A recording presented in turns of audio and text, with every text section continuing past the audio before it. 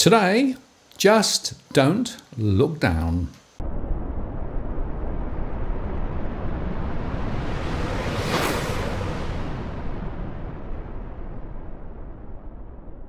Hello again, it's Martin North from Digital Finance Analytics. Welcome to this post covering finance and property news. And this is my weekly market update.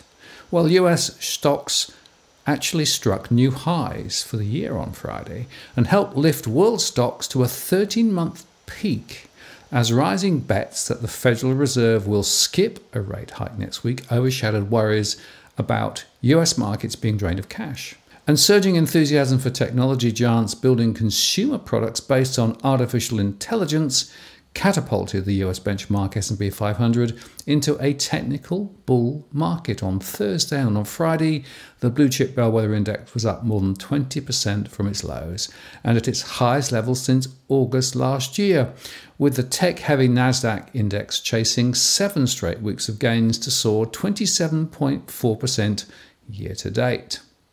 As of today, the S&P 500 is back in a bull market, said Arthur Hogan, chief market strategist at Briley Wealth, noting that the index finished Thursday with a 20% gain off its recent lows. The one thing that could tip over the apple cart is an over-aggressive Fed. It's maybe the most hated bull market in the history of bull markets, said Tim Holland, Chief Investment Officer investment platform Orion OCIO.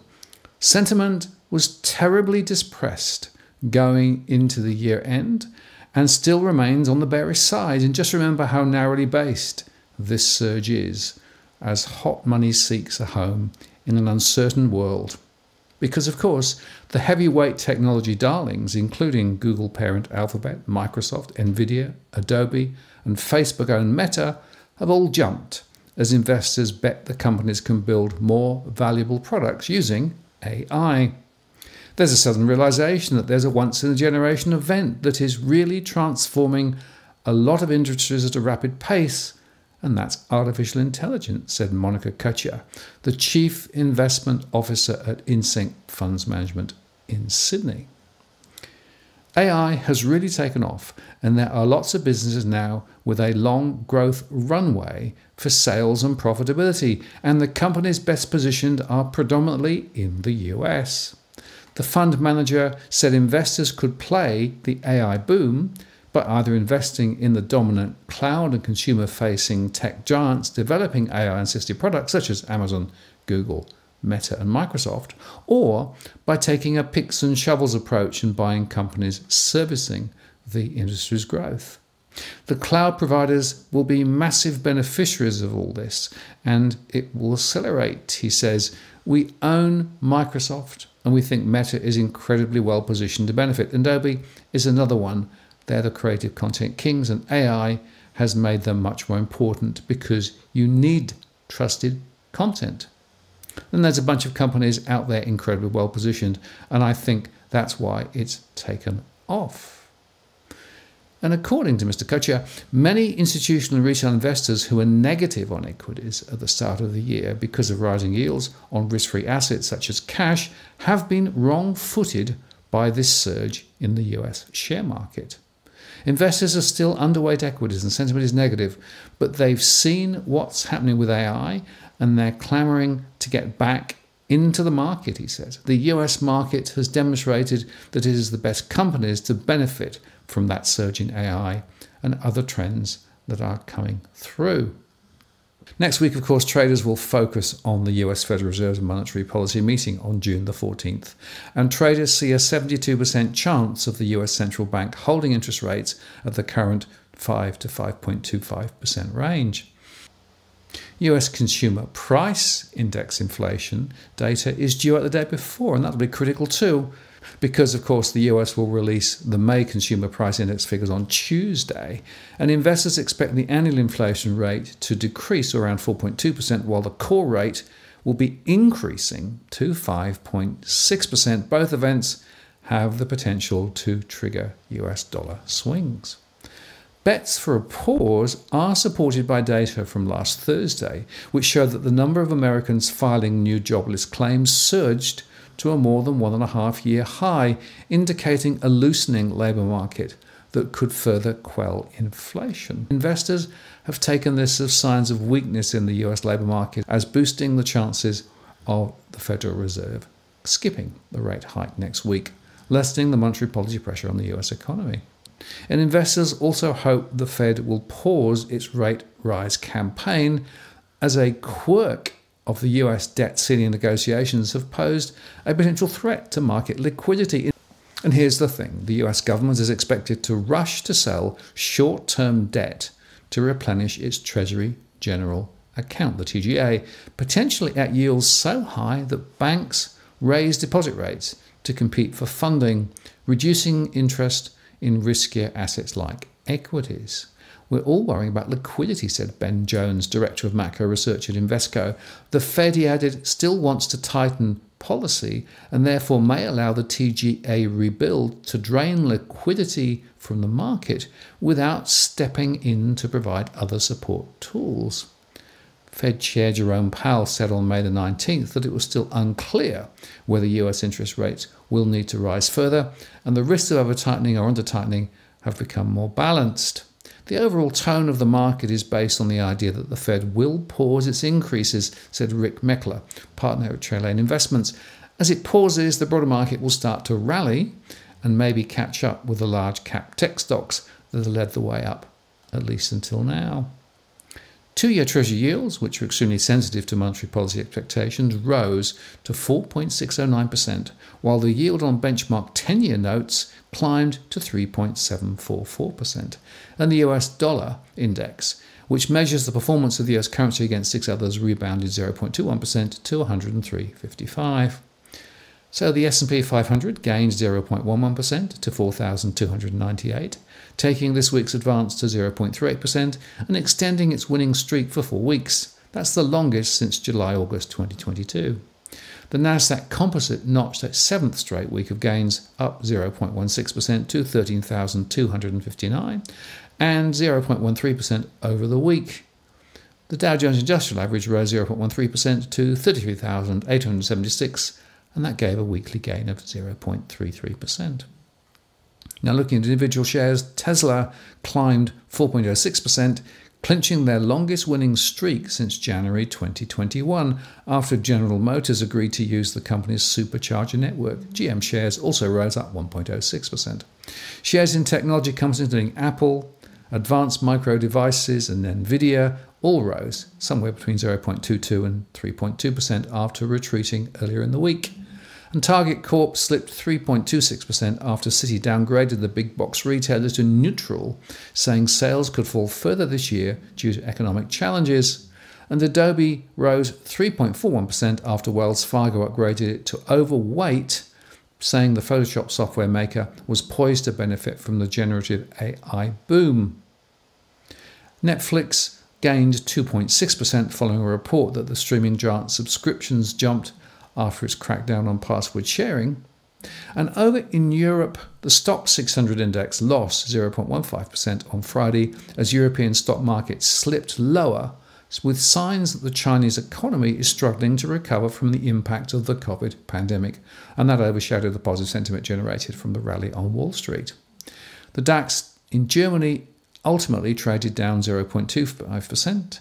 The CAC 400 fell 0.12%, while the FTSE 100 traded down 0.15%.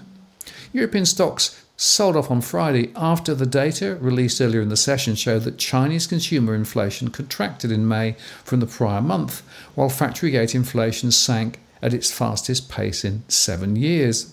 This week inflation data raised further questions over a slowing economic recovery in the country, the major growth driver, of course, for the region, as well as a vital export market for many of Europe's senior companies. The euro slipped 0.32% to $1.0749. And that's just below Tuesday's two week high of 1.0787. Additionally, the European Central Bank is widely expected to increase interest rates next week, with a quarter point increase fully priced in for Thursday. The only real uncertainty is when the following quarter point increase will come in. In other words, will they also take the summer off to reevaluate or do it next month? The ECB President Christine Lagarde said on Monday that it was too early to call a peak in core inflation, and a clear majority of economists polled by Reuters expects another hike of 25 basis points in July.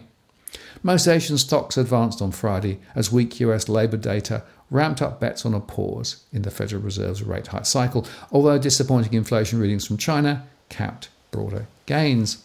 Technology heavy indices such as South Korea's Kospi and the Taiwan weighted index rose 0.9% each on Friday.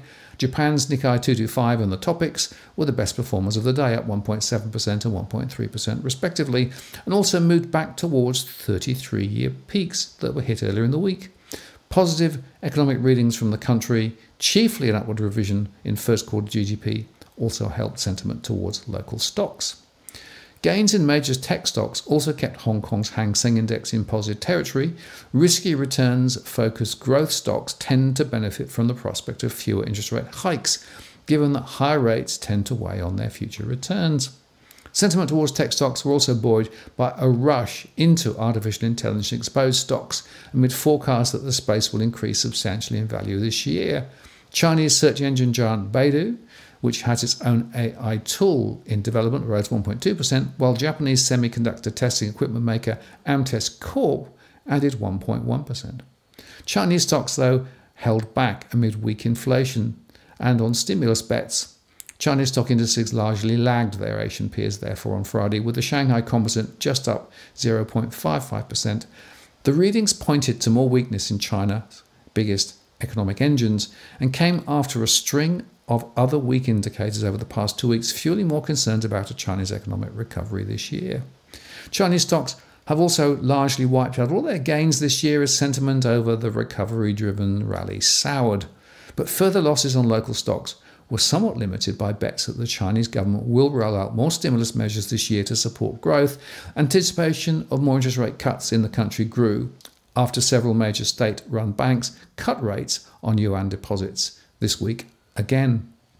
Oil prices fell on Friday after the dismal inflation data from China raised fears that slowing economic growth in the world's largest crude importer would hit demand growth this year.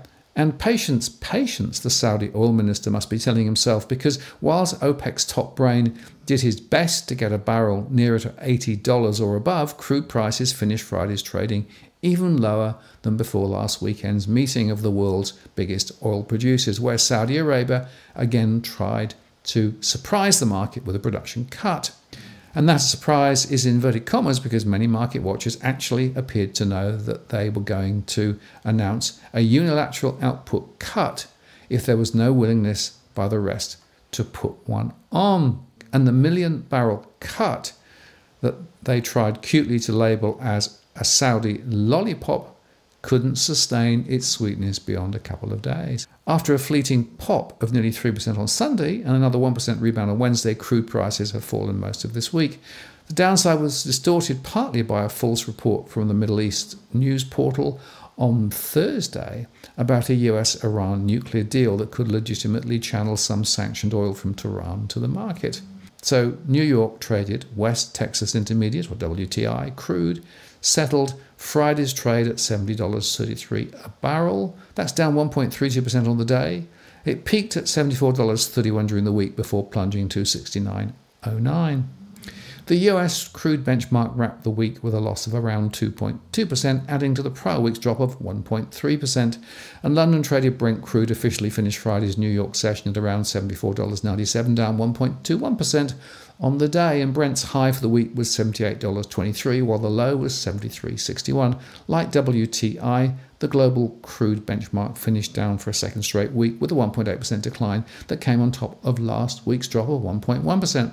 It's been a volatile week for oil prices, starting with the spike on the back of Saudi Arabia's 1 million barrel production cut, and ending with the US and Iran denying a temporary nuclear deal that saw prices plunge on Thursday, said Craig Erlam, analyst online trading platform Oanda. These are very jittery markets against the backdrop of a deteriorating economic outlook. And Erlam also noted that the Saudi production cut had little impact on the eventual price of oil.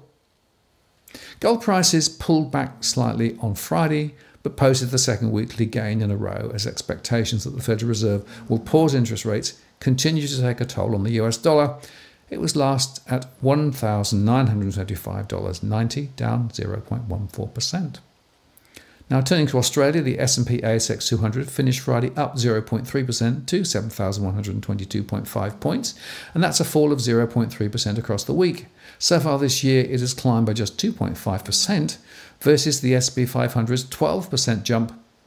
Local shares had lurched lower on Tuesday after the Reserve Bank lifted interest rates by 0.25%, and Governor Philip Lowe warned that inflation was still too high, with the potential for more increases in coming months to get inflation within its 2 to 3% target band. Dr. Lowe's hawkish comments and weaker than expected Australian gross domestic product growth of 0.2% for the June quarter prompted CBA to warn on Friday of a 50% chance of a recession in 2023. The gloom around an economic downturn extended to retail stocks, which sold off as investors dumped businesses considered vulnerable to consumers cutting back on spending as living costs such as rents and energy bills rise. The S&P ASX 200 Consumer Discretionary Index has now tumbled 7.2% since May the 2nd, when the RBA lifted rates from 3.6 to 3.85%, and while energy and banks are down 0.3%, and 7.7% respectively in 2023. Last year, banks, resources, and energy stocks were seen as beneficiaries of an inflationary environment, and that's reversed more than a little. The countries most exposed to those sectors are like Australia, are coming under pressure.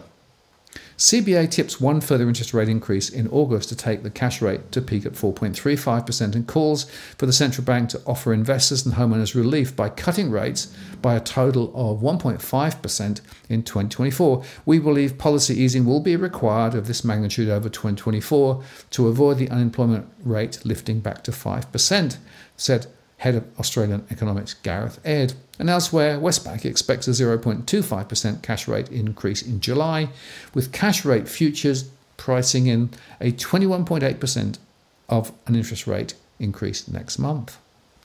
The Australian share market finished higher for the last trading session of the week, taking a positive lead from Wall Street overnight. The benchmark rose 0.3% to 7,122.5 at the market close, buoyed by a rally in technology and mining stocks. The index fell for a third consecutive week, though, down 0.3%. Five out of 11 sectors finished in the green, with technology stocks recording the most gains. Among local players, WiseTech shares jumped 2.6% to $75.88. Xero gained 2.7% to 109.08. Altium rose 1.4% to 37.32. And Weebit Nano climbed 2% to $6.67. And Codan added 3.2% to $7.66. The major miners rallied as iron ore futures traded higher during the late afternoon on the Singapore Exchange, up 0.7% to 113.75 a tonne on the June contract. BHP shares climbed 1.3% to 44.72. Fortescue Metals firmed 1.4% to $20.79. Elsewhere, consumer discretionary stocks firmed with IDP Education among the best performers that rallied 3% to $23.76. Aristocrat Leisure rose 1.5% to $38.07 a share. And Lottery Corporate added 1.4% to $5.01. And Wesfarmers edged up 0.3% to $47.58. The energy sector was the worst performing sector, though. It comes as oil headed for a second weekly drop. Whitehaven coal shares dropped 1.2% to $6.40. Santos shed 0.7% to $7.39. Woodside Energy fell 0.2% to 34.73. And Strike Energy lost 3.2% to 46 cents. Suncorp rose 0.9% to $13.12 on Friday as the country's sixth largest bank dismissed Bendigo Bank's insistence that it could be a future merger partner as it seeks approval from the competition regulator for ANZ to take over the company. The major banks finished mixed with ANZ shares up 0.8% to $20.85. Commonwealth Bank fell 0.1% to 95.80. Westpac firmed 0.3% to $20.25. And National Australia Bank ended up 0.2% at 25.20, while Macquarie was up 0.84% to 172.10. Now, the crypto scene benefited from the news and took a slight boost upwards, with Bitcoin reclaiming the $27,000 territory towards the end of last week. The gains in crypto were, however, very short lived, as the regulatory tension between Binance, Coinbase, and the SEC intensified. The SEC, of course, is at it again, Back in February, it was Operation Choke Point 2.0. This time, the regulator is targeting major crypto exchanges offering services in the US, specifically Binance and Coinbase. So, as a result, the leading crypto asset Bitcoin dropped by more than 3% to around 25,664 after crypto exchange Binance said that it was suspending dollar deposits and would soon pause fiat currency withdrawal channels following a US Securities and Exchange Commission crackdown. On Monday, the SEC filed a lawsuit against Binance and its CEO with the accusation of running a web of deception.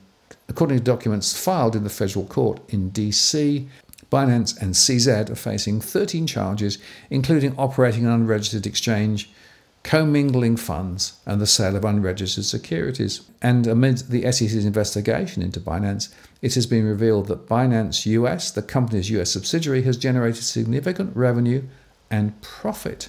According to SEC filings based on information provided by Binance, Binance US has amassed about $410 million in revenue and achieved a gross profit of $225 million since its launch. The majority of its revenue, amounting to $265 million, was generated in 2021, followed by $95 million in 2022. And Coinbase also found itself in the crosshairs a day after Binance was sued. The US domiciled exchange has been accused of offering unregistered securities, and the SEC listed 13 crypto assets in relation to the suit, including bigger names such as Polygon, Cardano, and Solana. Coinbase CEO Brian Armstrong also expressed their intention to challenge the SEC to provide clear guidance on regulatory frameworks for cryptocurrencies and Binance was likewise seen to be in a call to arms and made statements through its lawyers that SEC Chairman Gary Gensler offered to take up an advisory role at Binance's parent company back in 2019. On the brighter side, these latest developments have only had a small impact on Bitcoin's price so far, which could signal sellers being exhausted here and that the market are becoming more and more resilient. To bad news, but we will see. And finally, the Reserve Bank of Australia released its submission for a digital assets bill inquiry focusing on the regulation of crypto exchanges, custody services, and stablecoin issuance. While acknowledging the potential of stablecoins, the submission emphasized the need for a strong regulatory framework, and the submission also mentioned the Reserve Bank's engagement in research on central bank digital currencies, although it did not confirm any decision on implementing a digital Australian dollar. So, the takeout from this review is simply this markets are driven higher by the AI related story, but it's very narrowly based. More broadly, there are cracks appearing pretty much everywhere you look, and of course, the risk of recession is building. So, next week becomes important because the Federal Reserve may follow the Bank of Canada and the RBA and lift rates, or may not. And the question, of course, more broadly is where are we going from here? Well, there seem to be more downside risks than upside at the moment. And frankly, the market's lifts to new heights this year are really driven off a very narrow and enthusiastic burst in the AI sector. But as I discussed with Damien Klassen earlier in the week, the question is who's going to make the money and when will the money flow? So, plenty of risks around, plenty of time to just watch carefully what's going on. I'm Martin North from Digital Finance Analytics. Many thanks for watching, and I'll see you again next time.